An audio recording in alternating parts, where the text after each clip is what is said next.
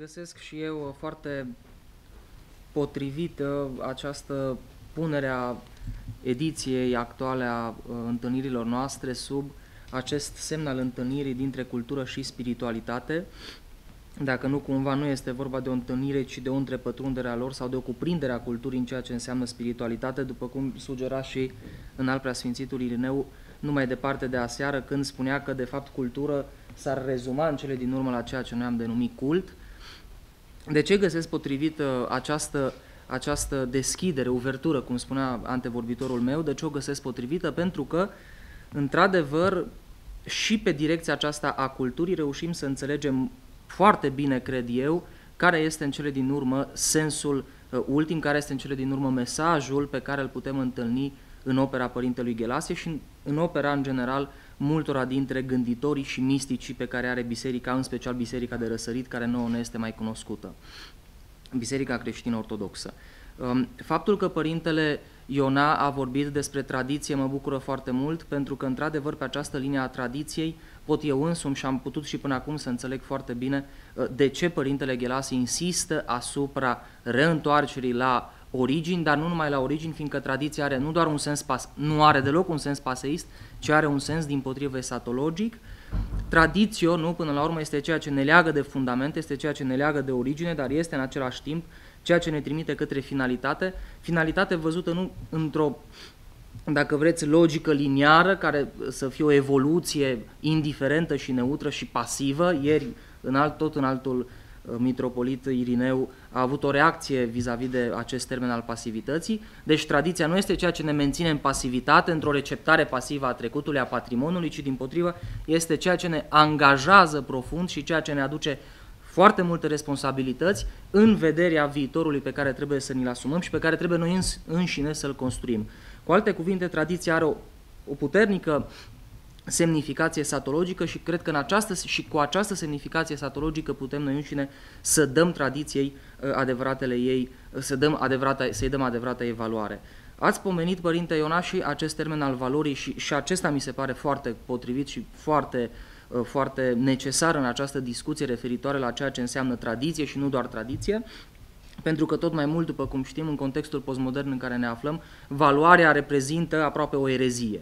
Să crezi într-o arhitectură valorică a existenței, a cunoașterii, a ființei și așa mai departe, a artei, etc., înseamnă să rămâi marginal și mai ales dacă și promovezi acest tip de discurs, te menții marginal, cel puțin în ce privește mediile, multe din mediile high life-ului pe care le pomeneați, pentru că nu e așa, valoarea reprezintă ceva vetust din potrivă, noi credem că valoarea este ceea ce dă demnitate și este semnul unei, uh, semnul unei relevanțe și semnul, unei, uh, uh, semnul cuiva purtător de, dacă vreți, consistență și substanță. Tradiția, din acest punct de vedere, are valoare, fiindcă ea poartă cu ea ceva foarte demn, ceva foarte înalt și ceea ce poartă tradiția cu ea până la urmă este tocmai această demnitate spirituală, pe care într-adevăr o, o poartă și tradiția poporului român, dar probabil că și tradițiile altor popoare. De aceea eu văd pe lângă această mândrie a faptului de a ne revendica dintr-o tradiție foarte demnă și onorabilă a locului, eu văd pe lângă această mândrie și o mare responsabilitate care ne revine, nouă românilor firește, responsabilitate care însă, și acum permiteți-mi să trec pe cealaltă latură a, a prezentării mele, responsabilitate care ne revine și din punct de vedere spiritual, dacă moștenim această frumoasă uh, operă, acest frumos și bogat și foarte consistent patrimoniu al Părintelui Ghelasie, avem și marea responsabilitate de a duce mai departe acest patrimoniu și de ce nu permiteți-mi să insist ca și anul trecut, acolo unde este cazul să-l descifrăm, acolo unde este cazul să-l reconvertim în alt tip de discurs pentru a fi tuturor inteligibil, să ne facem tuturor toate, ca măcar pe unii să-i dobândim și avem grijă să nu cădem, urmând principiul Sfântului Apostol Pavel. Ei bine, um, și ca să închei acest uh, excurs de început referitor la, la tradiție, um, vreau să vă pun în vedere și acea foarte frumoasă și, cred eu, adevărată afirmația lui Iaroslav Pelican, care spunea că în timp ce tradiționalismul și aici trebuie să, să fim foarte atenți la diferența dintre tradiție și tradiționalism, respectiv dintre atitudinea deferentă față și responsabilă față de tradiție și tradiționalism. Spunea Iaroslav Pelica, în acest mare teolog al Bisericii Răsăritene, că în timp ce tradiționalismul este credința moartă a celor vii, tradiția autentică este credința vie a celor morți. Este credința lucrătoare și plină de uh, forță, plină de putere, care, uh, care ne permite să ne angajăm în această tensiune, în această mișcare. Noi spunem în biserică către Saton, nu este anul acesta uh, aici Adrian Lemeni ca să confirme, dar a făcut-o anul trecut, pentru că, într-adevăr, unul dintre, unul dintre aspectele importante pe care le, le implică opera Părintelui Ghelas este această mișcare permanentă a ființei noastre către, către sfârșitul viacurilor, nu din alt motiv, ci pentru acela de a actualiza împărăția lui Dumnezeu pe pământ, înainte de toate prin corpul nostru, prin propria noastră prezență și mai apoi firește prin comunitatea noastră uh, ecleziologică, obligată pe undeva să reprezinte ea împărăția lui Dumnezeu pe pământ până la cea de-a doua venire. Ei bine, ceea ce vreau să vă propun anul acesta uh, spre, spre reflexie este o problemă cumva particulară, dar din punctul meu de vedere și ea uh, fundamentală uh, în concepția și opera Părintelui Ghelase, și anume problema cunoașterii. Cum putem să cunoaștem în acest orizont spiritual încărcat de atâtea și atâtea responsabilități și de atâtea și atâtea vedem dificile straturi pe care trebuie să le depășim, să le demantelăm, cum v-ați exprimat dumneavoastră. Problema cunoașterii care, firește, nu va fi, din punctul meu de vedere, acum uh, dezvoltată uh, filozofic sau epistemologic, ci, din potrivă, după cum ne recomandă Părintele Ghelase, într-o manieră mistică. Ceea ce uh, este fundamental, spune Părintele Ghelasie, pentru creștin, de fapt ceea ce este specific creștinismului este și citează din Evanghelia de la Ioan, este să-L cunoaștem pe Dumnezeu, care este nu singurul, adevăr, singurul uh, suprem adevăr, aceasta este viața veșnică, spune Ioan în capitolul 17, să te cunoască pe tine singurul adevăratul Dumnezeu. Dacă aceasta este viața veșnică să-L cunoaștem pe Dumnezeu, înseamnă că ea începe cu această cunoaștere și că exigența primă care ni se ridică în calitatea noastră de creștini, în calitatea noastră și de mărturisitori, este să-L cunoaștem pe Dumnezeu. Care este problema cunoașterii? În fond, este natura ei cum pot să cunosc ceea ce vreau să cunosc, dacă pot cu adevărat să fac asta și dacă îl cunosc pe Dumnezeu,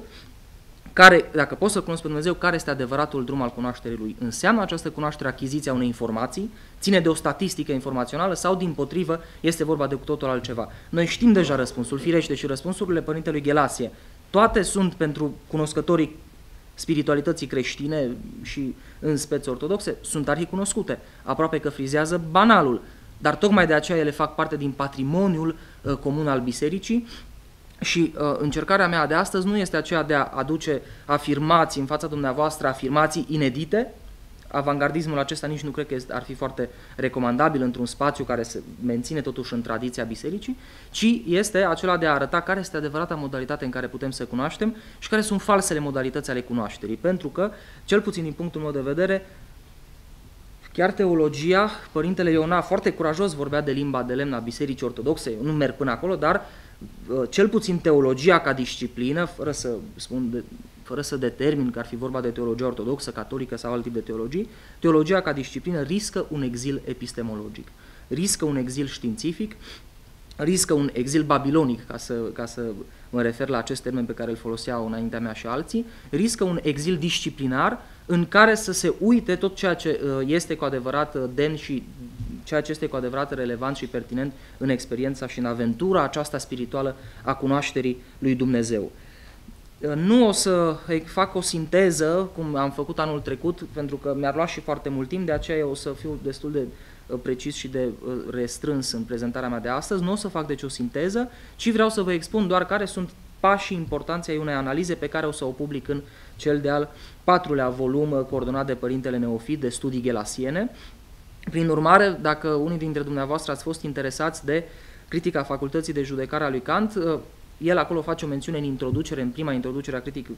criticii facultății de judecare, spune că există două tipuri de introduceri. Introduceri enciclopedice și introduceri, uh, uh introduceri uh, propedeutice. Introducerile enciclopedice expun tot sistemul, în timp ce introducerile propedeutice expun doar instrumentele necesare construirii sistemului. Pe mine mă interesează, spre deosebire de anul trecut, când am avut ambiția unei introduceri exhaustive, enciclopedice în fundamentele misticii Părintelui Ghelase, anul acesta mă interesează doar să expun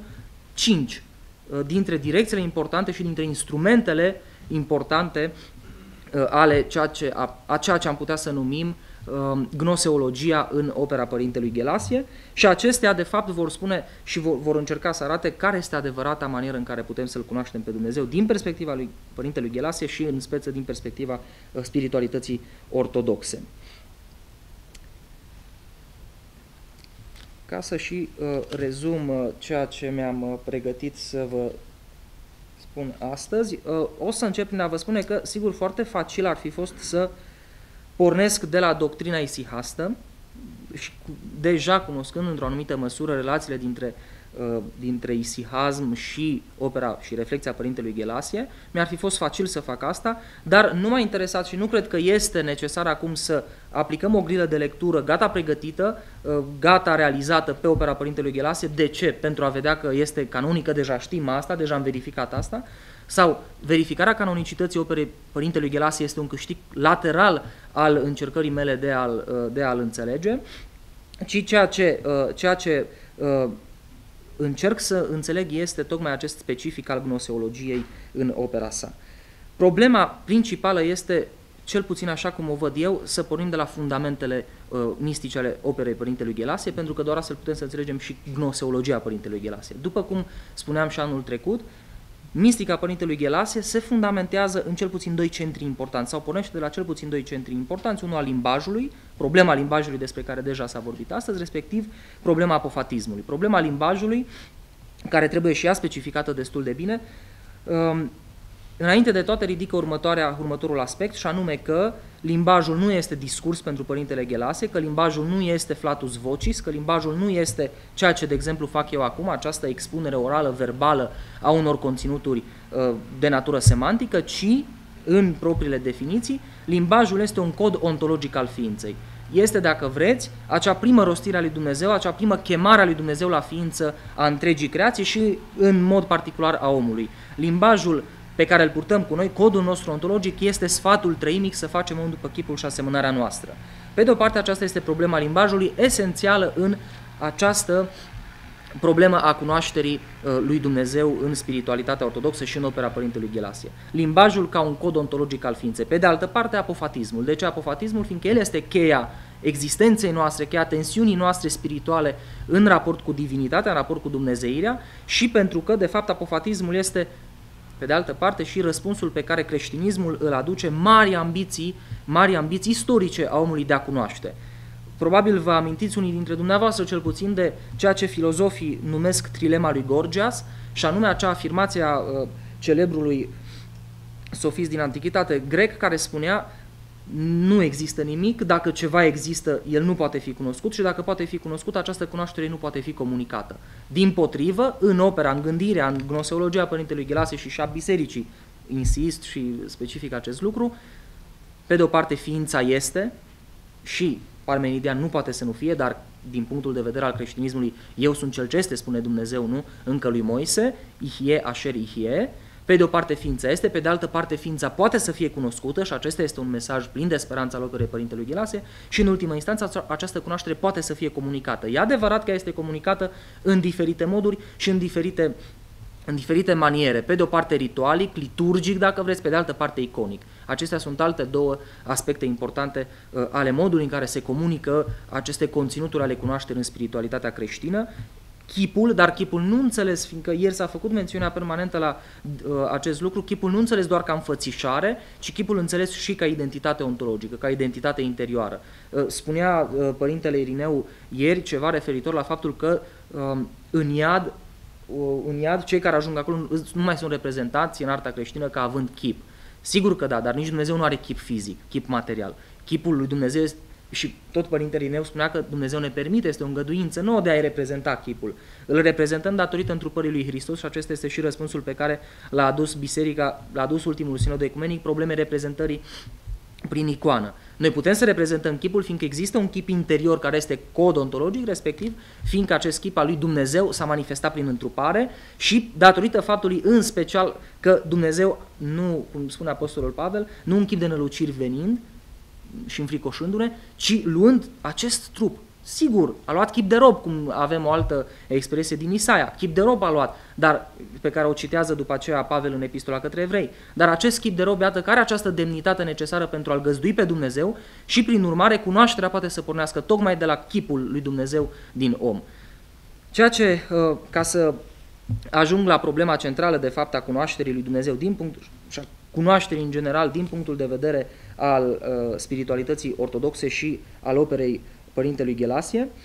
ceea ce, ceea ce este important este faptul că, pe de o parte, limbajul, pe de o parte, ceea ce codul nostru ontologic și firește, și după aceea limbajul ca manifestare verbală, liturgică, rituală, iar pe de altă parte apofatismul, apofaza, cunoașterea negativă a lui Dumnezeu la o treaptă superioară, nu apofaza doar ca negație a ceea ce nu putem să cunoaștem, acestea două se întrepătrund și limbajul, respectiv apofaza, ne dau ceea ce înseamnă cunoaștere, ceea ce înseamnă aventura și experiența cunoașterii lui Dumnezeu, ceea ce înseamnă mișcarea noastră de întâlnire cu, cu, uh, cu Dumnezeu.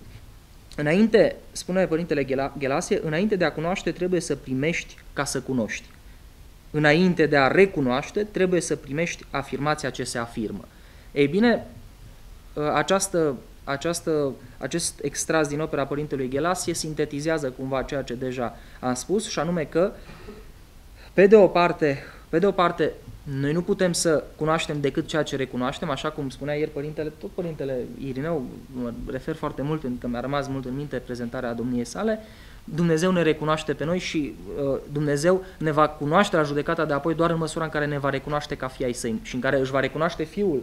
a adăugat cineva, în care își va recunoaște Fiul în noi înșine. Prin urmare, Uh,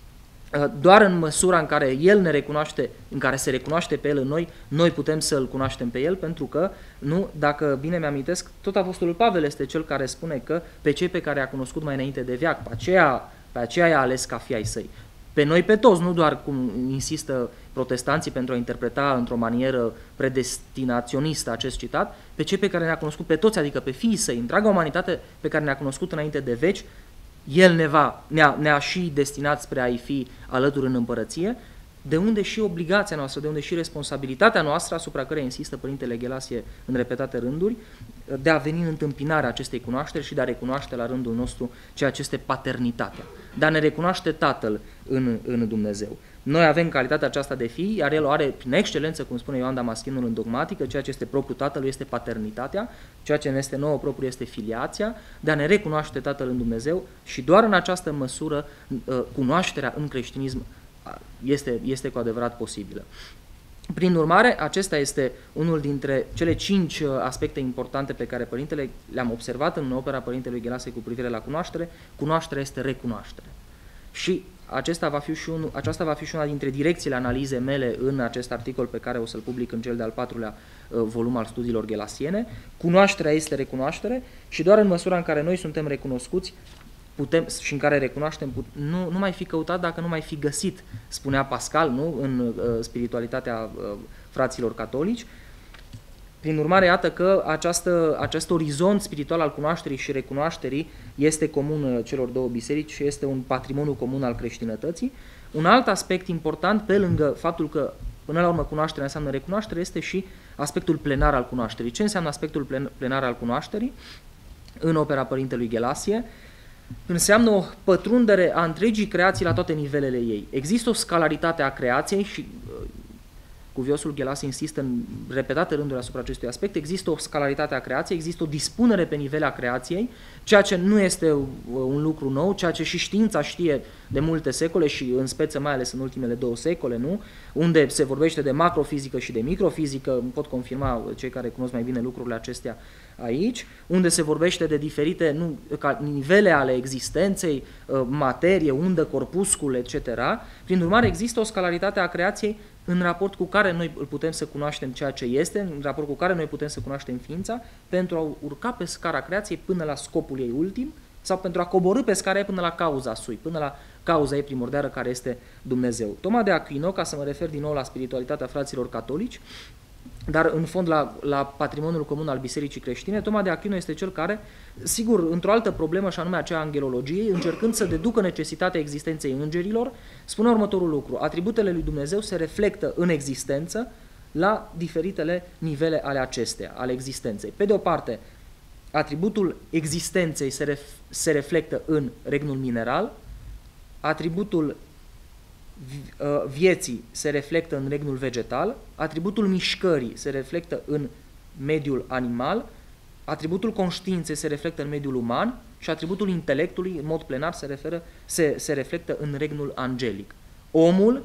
este cel care recapitulează toate celelalte uh, regnuri, este, cu alte cuvinte, coroana creației, cum se exprimă Sfinții Părinți în diferitele uh, interpretări la, la afacere. Omul este locul geometric al întâlnirii întregii creații și doar pornind de la om și de la umanitate și de fapt de la ceea ce este divin în noi, de la atributele lui Dumnezeu din noi înșine, de la chip și asemănare, uh, doar pornind de aici, cunoașterea este posibilă în creștinism. Mi s-a părut foarte importantă mi s-a părut foarte important și acest aspect al uh, gnoseologiei Părintelui Ghelase, deci pe de o parte, uh, cum am spus, cunoașterea care cunoaștere și iată în al doilea rând, și uh, epuizez foarte repede și celelalte trei aspecte, în al doilea rând, faptul că până la urmă cunoașterea trebuie să urce pe scările existenței, pe scările creației, să contemple uh, diferitele etaje ale creației pentru a ajunge la întâlnirea plenară cu Dumnezeu. Eu am lăsat deoparte, aveam mai multe citate din opera Părintelui Ghelase, le, le las deoparte în continuare pentru a nu vă reține prea mult și pentru a sintetiza doar care sunt achizițiile acestei, acestei încercări proprii de a înțelege gnoseologia Părintelui Ghelase și mă grăbindu-mă, merg mai departe și încercând să mai, vă mai pun în vedere un alt aspect al acestei gnoseologii, un aspect foarte special și anume acela al faptului că de fapt, cunoașterea autentică este transcendere și depășire. Aici o să-mi permit totuși să fac o uh, trimitere foarte precisă către opera Părintelui, fiindcă este important, este o delimitare polemică de alte tipuri de mistică paralele misticii creștine și mistici ortodoxe. Mistica, cunoașterea în mod ultim este transcendere, ea este depășire și ea este surmontarea distanței dintre subiect și obiect. Cu alte cuvinte, este un alt tip de gnosologie angajat aici, nu acela al uh, statusului meu de subiect cunoscător, respectiv, cartezian, respectiv al statusului a ceea ce vreau să cunosc de obiect, ci cunoașterea în mod de plin este întâlnirea a două subiecte. Firește, nimic străin bisericii ortodoxe, nimic străin mesajul evanghelic în ultimă instanță, pentru că viața veșnică este să te cunoască pe tine, nu să cunoască conceptele referitoare la tine, nu să cunoască categoriile cunoașterii, nu să cunoască nici nivelele lumii, ci să te cunoască pe tine. Acest, aceea este viața veșnică. Părintele Ghelase spune următorul lucru. Mistica nu este o învățătură ocultă, secretă, ci este o cunoaștere dincolo de minte și rațiuni care sunt specifice corpului, de corp, spune el. Și o astfel de cunoaștere nu se face prin minte rațiuni, ci prin transcenderea lor în realitatea de duh, spirit, care este vorbire, nu prin rațiuni, încă o dată. Cât ar fi ele de pure, deci cât ar fi ele de metafizice, ci prin vorbire de eu conștiință, duh, ființă și spirit de sine, care sunt limbaj în sine total, limbajul în sens ontologic, și de plin de alt mod de mișcare deosebit de modul de gândire. Firește că aici avem în acest uh, citat pe care l-am, uh, vi l-am spus acum, avem câteva aspecte problematizante, ar trebui să le luăm pe fiecare separat, dar pentru a rezuma, ceea ce este important este faptul că gnoseologia din perspectivă mistică nu este gnoseologia așa cum suntem învățați de cultură, pentru că acum trebuie să facem și deosebirea dintre cultură și spiritualitate, că aventura cunoașterii este total diferită de în spiritualitate, total diferită de aventura cunoașterii culturale sau științifice sau filozofice sau chiar teologice, catafatice și că de fapt mistica începe să începe să lucreze cu adevărat în noi, acolo unde lăsăm deoparte modalitățile de înțelegere și de cunoaștere a existenței categoriale, în inter, prin intermediul categoriilor de tip aristotelic, făcând deci acest salt pe care și Heidegger îl intuia pe undeva, nu? Încercând să pună în paranteză metafizica occidentală, deci că adevărata cunoaștere nu merge pe linia acestor categorii, ci pe linia altora, sau de fapt nu pe linia unor categorii, ci pe linia vederii. Și aici este cel de-al patrulea aspect important al gnoseologiei Părintelui Ghelasie, pe lângă cele pe care deja le-am menționat, cunoașterea care cunoaștere, depășirea categoriilor, respectiv cunoașterea prin uh, uh, urcarea scării creației, scărilor multiple ale creației. Acesta este cel de-al patrulea aspect important uh, și anume vederea. Cunoașterea este vedere și ce înseamnă această vedere? Uh, dacă ne referim, dacă pornim de la Scriptură, vom vedea că este o obsesie aproape a profeților în Vechiul Testament de a-l vedea, a, cel puțin a doi mari profeți, a lui Ilie și a lui Moise, de a, a lui Moise și a lui Ilie, iertați-mă, cronologic, de a-l vedea pe Dumnezeu, o obsesie însă blocată. Ei au văzut doar, au văzut doar spatele lui Dumnezeu, se spune foarte frumos în, în, în ieșire, a văzut doar spatele lui Dumnezeu și în interpretarea foarte frumoasă a unui teolog a văzut consecințele prezenței lui Dumnezeu. Tot așa cum consecințele prezenței lui Dumnezeu în natură care nu e babilonie, care nu este isterie postmodernă, care nu este destructurare, ci vânt lin, pentru că îi spune lui Ilie, va fi cu tremur, foc, va fi... Nu mă vei vedea în acelea, mă vei vedea în vântul lin care vine după aceea. Deci în consecințele prezenței lui l-au văzut doar, spre deosebire de, iată, noi, norocoși și fericiții, binecuvântații Tatălui meu, cum se exprimă Hristos, iată, spre deosebire de noi, care l-am văzut plenar, după cum se exprimă Pavel la începutul, în zilele acestea mai de urmă, ne-a grăit nouă prin Fiul, pe care l-a pus moștenitor a toate și prin care și viacurile s-au făcut și fără de care nimic nu s-a făcut din ce s-a făcut, cum spune Ioan, Ioan Evanghelistul în prolog. Ei bine, această vedere a Fiului este fundamentală cunoașterii lui Dumnezeu și iată că am epuizat cel de-al patrulea aspect important al gnoseologiei și o să le recapitulez după aceea pe toate pentru a ajunge la sinteza lor, fiindcă asta este de fapt lucrul cel mai important, ajungând, iată, la cel de-al cincilea aspect, care este acela al uh, misticii angajate și al practicii mistice angajate în cunoaștere. Care este modalitatea prin care noi putem să cunoaștem și care este fenomenologia acestei cunoașteri, fiindcă Părintele Ghelasie este foarte interesat de acești pași și de manifestarea cunoașterii și de manifestarea întâlnirii cu Dumnezeu, inclusiv în corporalitate, Mintea, spune Sfinția sa, începe să cunoască dulceața sufletului atunci când, lasă, atunci când se descalță de categoriile gândirii, cum se exprimă el, ca și Moise pe munte, mintea începe să cunoască dulceața sufletului. Mintea descoperă o altă mișcare de minte, nu în forme de gânduri și simțiri concretizate până la corp fizic, ci într-o contemplație de lumină de suflet ce o învăpăiază într-o claritate uimitoare. Această claritate care nu există în nici măcar, se pune problema în științe sau în filozofie, dar nici măcar în teologia catafatică, catafatică și nici măcar în metafizică, ci în mod fundamental în întâlnirea directă, personală, activă cu Dumnezeu, în ceea ce este până la urmă chiar experiența mistică plenară. Mintea stă și vede atunci. Și această paradigma vederii este fundamentală inclusiv în Vechiul Testament, dar cum deja v-am spus, dar și în Noul Testament, deci este specifică și plenară creștinismului, ea stă și vede și toată, tot creștinismul de fapt este această promisiune a vederii, de unde și în reprezentările, dacă este să ne s-au făcut câteva referiri la artă, în reprezentările artei primare creștine, uh, oranții, preoții erau reprezentați în calitate de oranți cu mâinile ridicate și cu ochii, se, în istoria artei se spune plotinieni, nu sunt ochii plotinieni, sunt chiar ochii viziunii, sunt ochii vederii cu ochii exoftalmici, ca să nu spun bulbucați, uh, care sunt de fapt semn al viziunii și al, cum spune poetul, vă referați la, uh, la câțiva mari, uh, câteva mari figuri ale spiritualității și ale culturii românești, cum spunea poetul Mihai Minescu, era ochiul, ochiul închis afară, înăuntru se deșteaptă. Ochiul deschis înăuntru vede, contemplă cu totul altceva și vede de fapt, s-a depășit și momentul contemplației, revelația, revelația în sine. Și cu asta mă apropiu chiar de final, mintea stă și vede, cum spunea Părintele Ghelasie, nu mai este nevoie să gândească,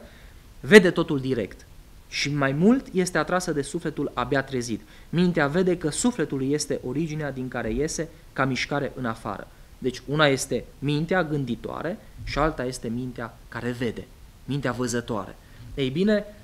cunoașterea în sens ultim este această minte văzătoare, este mintea care ajunge la întâlnirea cu Dumnezeu și la vederea Lui față către față, grai către grai, nu chip către chip, cum se exprimă, se vorbea foarte mult de chip. Am impresia că în Biblia de la 1688 se folosește această expresie, chip către chip. Deci l-a văzut pe Dumnezeu în mod, în mod direct. Și ca să, ca să concluzionez, de fapt, ceea ce contează din toată această, uh, din toată această aventură a cunoașterii așa cum o specifică Părintele Ghelase prin cele, ce, cele cinci aspecte foarte importante ale gnoseologiei, ceea ce contează cu adevărat este acest traseu, acest drum, de la, pe de o parte,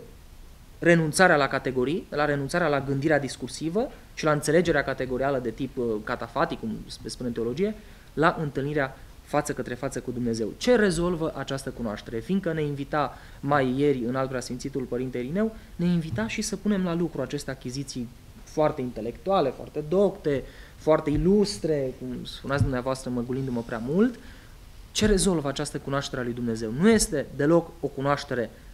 abstractă, nu este o cunoaștere teoretică, nu este o întâlnire care să desfete, nu este o estetică transcendentă, nu transcendentală, că aia înseamnă altceva la Kant, nu este o estetică transcendentă, nu este o desfătare cu frumusețea lui Dumnezeu, nu doar atât. Iar catolicismul insistă prea mult. Firește că are și catolicismul, uh, are, au și frații catolici, teologi, achizițiile lor foarte importante în manieră de spiritualitate, dar insistă prea mult pe această desfătare și nu întâmplător arta barocă o reprezintă în acea manieră pe Tereza de Aguila în extaz și extazul însuși cred pe undeva diferit de ceea ce este experiența mistică a trăitorilor ortodoxi, este cu totul altceva, este o expresie a acestei trăiri, aceste, acestei stări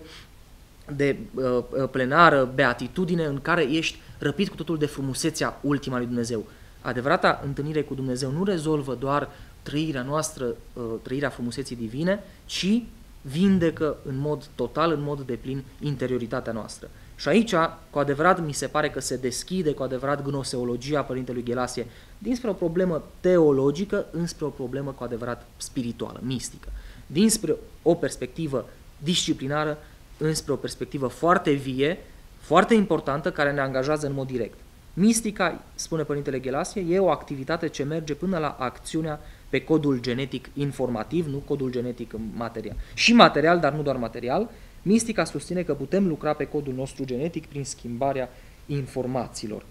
Acesta cred că este, acesta cred că este mesajul esențial pe care ni-l aduce gnoseologia Părintelui Ghelasie, că, asumând o cunoaștere, o gnoseologie de tip mistic, adică având în vedere cele cinci aspecte pe care vi le-am uh, rezumat, putem să schimbăm ceva în interiorul nostru, putem să redevenim cu adevărat fi al lui Dumnezeu. Este un mesaj important și pentru, posmo, pentru uh, omul postmodern, este un mesaj care cred că poate să salveze singurătatea omului postmodern. Pe de altă parte, ceea ce mă interesează în mod particular, poate și pe unul dintre dumneavoastră, este un mesaj important care poate să salveze teologia de exilul ei disciplinar și anume cunoașterea care refuză să facă din divinitate un obiect al conștiinței sau al unei investigații metafizice, teologice, fenomenologice, etc., este promisiunea acestei mistici ortodoxe care ne provoacă la uh, împlinirea în mod, în mod cât se poate de deplin a rugăciunii domnești și anume vie împărăția ta, facă-se voia ta, precum în cer, așa și pe pământ. Spunem în fiecare zi aceste lucruri, dar cred că întrebarea este următoarea, ce facem noi, ce fac eu ca împărăția lui Dumnezeu să vină pe pământ prin mine însumi și firește că pentru a face asta mai întâi trebuie pe de o parte să-L trăiesc pe Dumnezeu, ca pe de altă parte Dumnezeu să trăiască prin mine aici pe pământ. Mulțumesc!